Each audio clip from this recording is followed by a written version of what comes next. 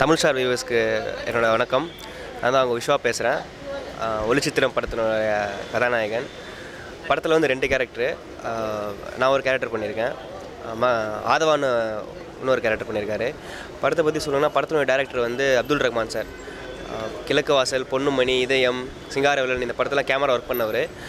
Award cameraman அவர் வந்து first first direction பண்ணுறாரு படத்தில் வந்து ஒளிச்சித்திரம் டைட்டில் கேட்டால் டிஃப்ரெண்ட்டான டைட்டிலுங்க அதில் வந்து ஒரு பிளைண்டு கேரக்டர் பண்ணியிருக்கேன். ஒரு இஎஸ்பி பவர் இஎஸ்பி பவர் வச்சு எப்படி லைஃப்பில் வந்து அவங்க இது பண்ணுறாங்க லைஃப்பில் என்னென்ன ஹேர்டஸ்லாம் தாண்டுறாங்க அப்படின்ற ஒரு விஷயம் தான் சொல்லியிருக்கோம். படத்தினுடைய மியூசிக் டேரக்டர் வந்து இசை கவிஞன் கவிஞர் சௌந்தர்யன் சார். படத்தில் மூணு பாடு மூணு பாடல்கள். மூணு பாட்டுமே வந்து ரொம்ப சூப்பராக வந்திருக்கு. டான்ஸ் மாஸ்டர் வந்து கொம்பு முருகன் பண்ணியிருக்காரு படம் பாருங்கள் தேட்டரில் போய் பாருங்கள் தேங்க்யூ